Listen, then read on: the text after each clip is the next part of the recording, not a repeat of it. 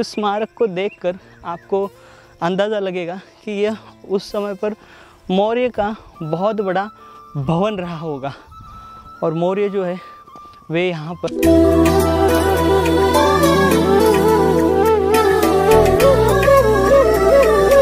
सुप्पबुद्धं पबुज्जन्ति सदा गौतमा सावका।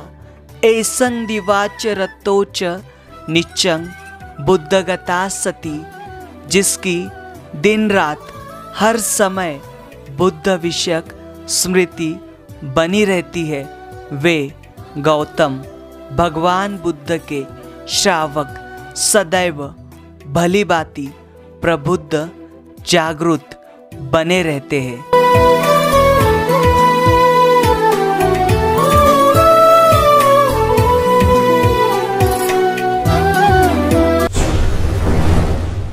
सदियाँ बीत गई है, लेकिन सभ्यता वहीं पर है।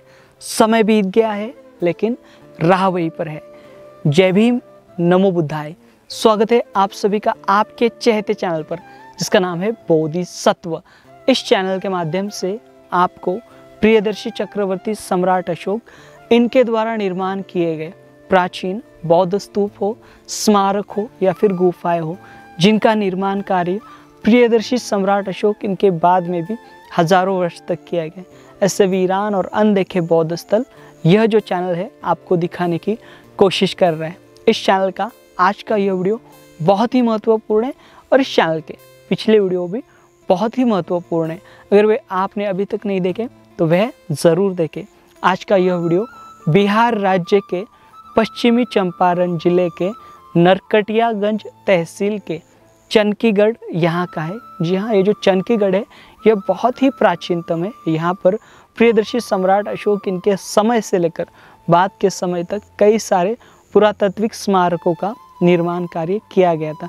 दरअसल ये जो पूरा गढ़ है यह गढ़ ही स्तूप माना गया है, जिसे प्रियदर्शी सम्राट अशोक इनके द्वारा बनाया गया था। ऐसी जानकारी प्राप्त होती है यहाँ पर कि ये जो स्थली है, इस स्थली की पहली बार यह जो जानकारी हम इस चैनल के माध्यम से आपको देने की कोशिश कर रहे हैं। यहाँ पर देखिए, यह जो स्थली है, वैशाली से काफ़ी नज़दीक है। यहाँ पर आना बहुत ही सुलभ है। आप आपके व्यक्तिक वहाँ वहाँ से आ सकते हो। अथवा यहाँ पर शासन प्रशासन के जो वाहन है, उसका इस्तेमाल कर इस चनकीगढ़ में आ सकते हो। यहाँ पर देखिए, पुरातत्व विभाग द्वारा इस स्थली को पूरे तरीके से संरक्षित किया गया। हालाँकि यहाँ का ये जो स्मारक है, बहुत बड़े पैमाने में डैमेज भी हुआ हमें दिखाई देता है। तो चलिए, आज का ये जो महत्वपूर्ण वीडियो है, हम शुरू करते हैं और ये जो जानकारी लेने की कोशिश करते हैं। तो चलिए, आज का वीडियो हम शुरू करते हैं।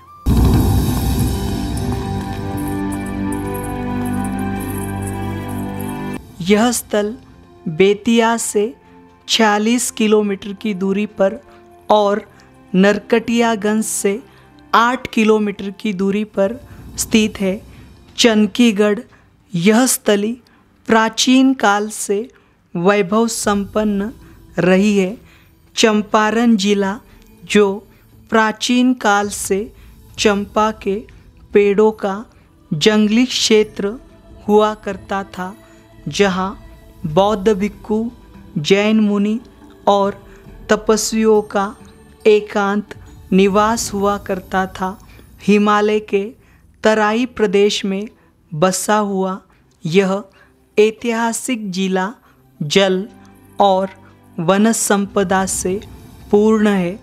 ऐसा अनुमान लगाया जाता है कि पीपली वन के मौर्यों ने इसी क्षेत्र में आसरा लिया था, जो भगवान बुद्ध के समय एक गणतंत्र, गणराज्य का महत्वपूर्ण हिस्सा हुआ करता था।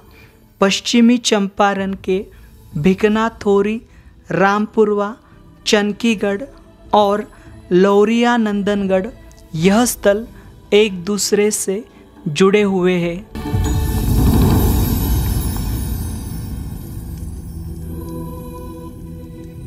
हम आए हुए हैं बिहार राज्य के पश्चिमी चंपारण के, नरकटियागंज इस मंडल के चनकीगढ़ यहाँ पर।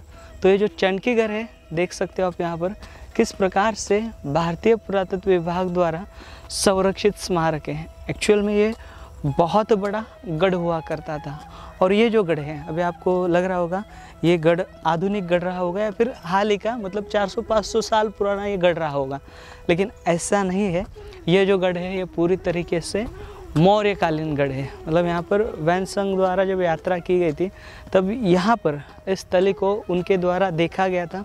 यहाँ पर बहुत बड़ा उस समय पर संग्राम हुआ करता था। लेकिन देखिए, ये जो ये गढ़ देख पा रहे हो आप, ये गढ़ कहा जाता है, यल टाइप में है। मतलब जो हम एल अक्षर लिखते हैं, उस एल अक्षर में है। ये पूरा चौकोन था, लेकिन हिस्सा, इसका जो ज़्यादातर हिस्सा जो है वह चुका है या फिर नष्ट हो चुका है। इसकी ऊंचाई देख पा रहे हो, जितनी गढ़ की ऊंचाई है, जहाँ से अभी हम चल रहे हैं, ये जो आप बगीचा देख पा रहे हो, इसकी भी ऊंचाई उतनी थी।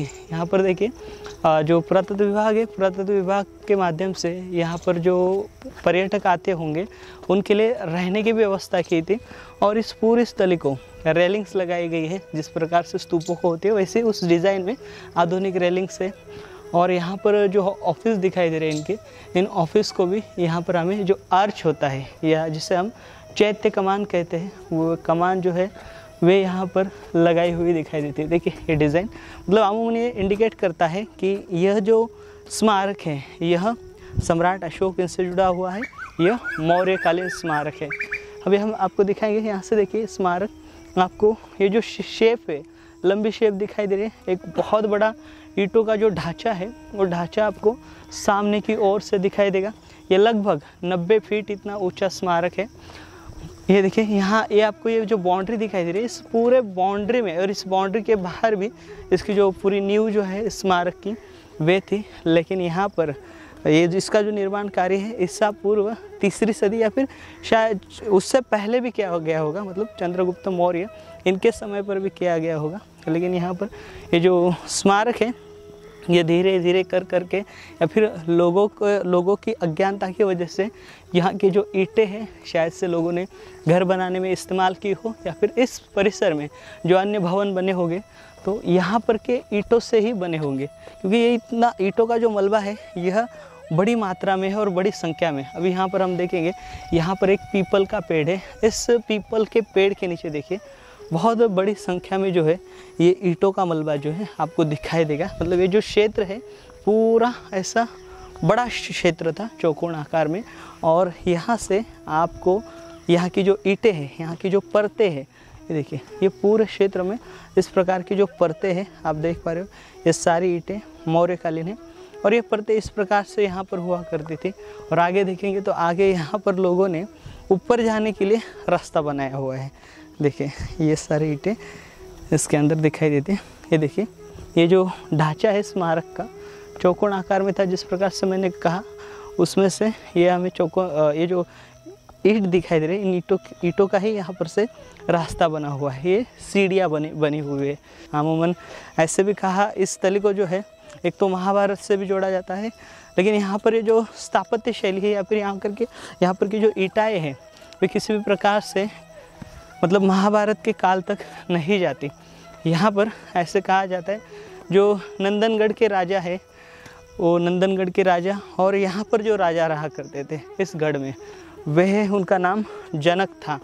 और जनक से ही ये जो तल है, इस तली का नाम जो है चनक चाणकीगढ़ या फिर चाणक्य भी इसे कहा जाता है। लेकिन चाणक्य से इसका कोई संबंध नहीं है। चाणक्य से इसलिए जोड़ा जाता है, क्योंकि यह जो है, यह मौर्य पीरियड का है, इसके कारण इसे चाणक्य से जोड़ा जाता है?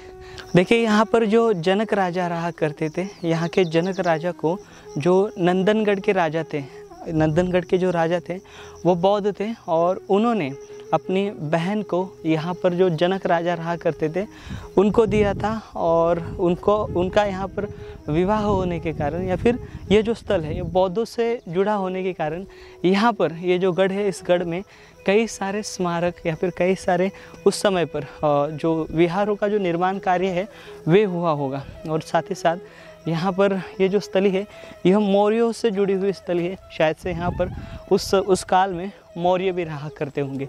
क्योंकि अगर आप इस पूरे मतलब ये इसको देखेंगे, इस स्मारक को देखेंगे तो स्मारक को देखकर आपको अंदाज़ा लगेगा कि यह उस समय पर मौर्य का बहुत बड़ा भवन रहा होगा। और मौर्य जो है, वे यहाँ पर उस समय पर आया जाया करते रहेंगे या फिर यहाँ पर उनका वास्तव रहा होगा।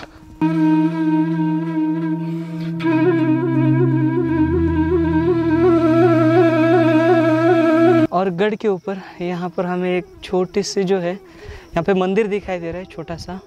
आइए। ये देखिए, यहाँ पर एक छोटा सा जो है, मंदिर बनाया गया है इस प्रकार से। यहाँ पर जो शिवलिंग है, शिवलिंग बनाने की कोशिश की गई है। और यहाँ पर ये ईटों का जो ढांचा है, इस स्मारक का, वे हमें देख यहाँ पर ये बड़ी बड़ी दीवारें हैं और यहाँ पर बड़ी बड़ी खोलियाँ हुआ करती थी। यानी यहाँ पर सिविलाइजेशन जो है, एक तो यहाँ पर लिविंग पर्पस के लिए यूज़ किया जाता था और एज इट इज़ यह मौर्यकालीन स्मारक है और यहाँ पर शायद से जो विहारों के जो अवशेष है, ऊपरी सतह पर उस समय पर रहे होंगे। और अभी यहाँ पर हमें सिर्फ़ ये दीवारों के ये जो छत है वे दिखाई देते हैं। यहाँ पर पूरा उत्खनन नहीं हुआ है, सिर्फ़ जो यहाँ का जो मूल ढांचा है उससे सामने लाया गया अगर यहाँ से गाँव वालों से हमने यहाँ पर पूछा और जानकारी भी लेने की कोशिश की, उन्होंने कहा कि यहाँ पर कई सारे जो बड़ी बड़ी खोलियाँ हैं और जो भवन है, यहाँ पर भवन के अवशेष जो है, वे बिखरे हुए हैं। देखिए, यहाँ पर ये जो फोर्ट है, बहुत बड़ा हुआ करता था, हाइट में। लोग कहे थे, इसे देखने के लिए ऐसी मूड, जो अपना सर जो है, ऊपर करना पड़ता। लेकिन तो भी ये जो स्मारक है, उस समय पर नहीं दिखाई देता।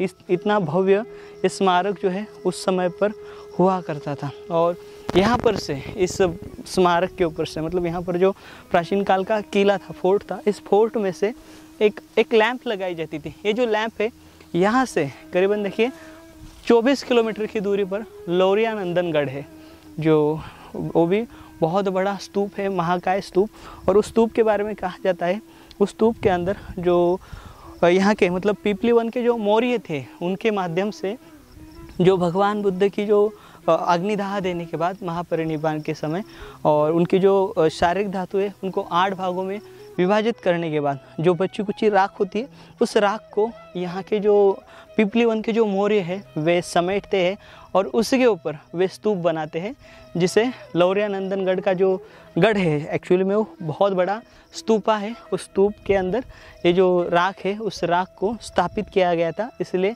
लौरिया नंदनगढ़ को जो इतिहासकार है, वे अंगार स्तूप भी कहते हैं। और ये जो स्तूप है, ये जो मतलब किला है, यह भी उसी प्रकार से बहुत बड़ा रहा होगा लेकिन अब ये पूरी तरीके से क्षतिग्रस्त हुआ है। देखिए यहाँ से आप ये पूरा व्यू दे, देख सकते हो बहुत बड़ा। अभी इसकी जैसे मैंने बताया आपको 90 फीट हाइट है। यहाँ से जो लौरिया नंदनगढ़ का जो गढ़ है वे यहाँ पर से दिखाई देता था। यानी प्राचीन जो स्तूप है वे यहाँ पर दिखाई देता था। और यहाँ पर जो सेटलमेंट है बहुत बड़ी थी। देखिए यहाँ पर आइए अभी देखिए।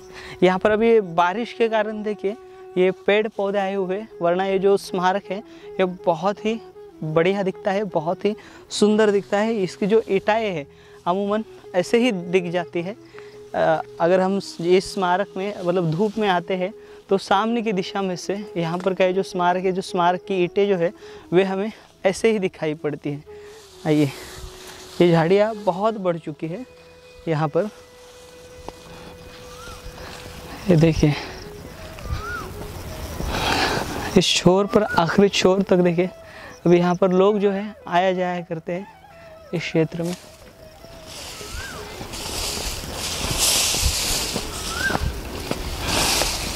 ये देखिए अभी जहाँ पर ईटों की परत है, वहाँ पर हम आए हुए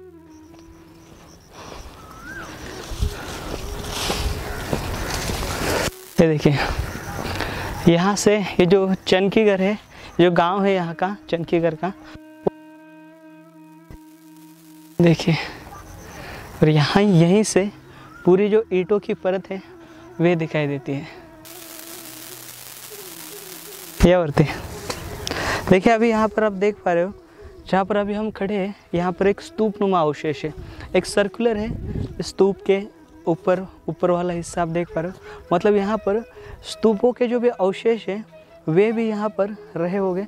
ऐसे हमें प्रतीत होता है। देखिए, पूरा सर्कल दिखाई दे रहा है और बाकी जगह पर आपको समतल दिखाई देगा। मतलब यहाँ पर जिस प्रकार से हम स्तूपों की नींव उसी प्रकार के जो नींव है, यहाँ पर हमें इस गढ़ के ऊपर दिखाई देती है। और आगे हमने खोलियों के जो अवशेष है वह देखे हैं। देखिए, जो गढ़ है, इस गढ़ के अन्य पुरातात्विक साक्ष्य और जानकारी जो है जो युवक है संशोधक है जिनका नाम है प्रिंस बुद्ध मित्र जी उनसे हम लेंगे। बताइए यहाँ पर क्या क्या साक्ष्य मिलते हैं? तो इसका संबंध कहीं ना कहीं अगर मौर्य पीरियड के हमें ब्रिक्स मिल रहे हैं तो इसका संबंध उस काल से भी जाता है। और यहाँ पे कुछ पुरातात्विक अन्वेंशन एवं खुदाई में कॉपर के सिक्के मिले हैं कई प्रकार के मृदमांड मिले हैं बड़े बड़े ईंटें मिले हैं। हाल ही में ग्रामीण द्वारा बताया गया जो एक बड़ा सा ईंट मिली थी जिस पर एक पंजे का निशान था पैर की पंजे का निशान था तो उसको उन्होंने पटना म्यूज़ियम में दिया गया है। हालाँकि ये पटना म्यूज़ियम की बात कहाँ तक सही हम नहीं जानते हैं, लेकिन उनको ग्रामीण द्वारा कहा गया था कि उनको पटना भेजा गया तो इसी प्रकार से यहाँ पे संरक्षण एवं खुदाई की अति आवश्यकता है, क्योंकि ये जो प्राचीन किला नुमा जो गढ़ है, वो काफ़ी बहुत बड़ा है, और पश्चिमी चंपारण का अगर इसकी खुदाई हो तो मौर्यों का पिपली वन का जो अवशेष है, वो प्रकाश में आ सकते हैं। और इसी तरह इसे हम एक अनुरोध और करें, इसके कंजर्वेशन की बहुत आवश्यकता है। हालाँकि साल भर में एक बार इसकी सफ़ाई होती है, लेकिन आसपास भी आप देखेंगे कि गढ़ इतना ही बड़ा नहीं था गढ़ बहुत विशाल इलाके में था, हालाँकि सिमट कर इतना तक ही रह गया और आज भी ईंटें जो है, उस विजुअल है। तो हम लोग इसके अवशेष को आगे देखेंगे और पीछे जो हमारे पीछे है, सोमेश्वर की पहाड़ी और वाल्मीकि नगर के जंगल है तो कहते हैं कि सोमेश्वर की पहाड़ियों से लेकर वाल्मीकि नगर जंगलों में कई पुरातत्विक अवशेष आज भी हैं, जो आज से अनछुई पहली, अनछुई पहेलियाँ हैं, जिसे जिस पर शोध खोजा जाना अति आवश्यक है।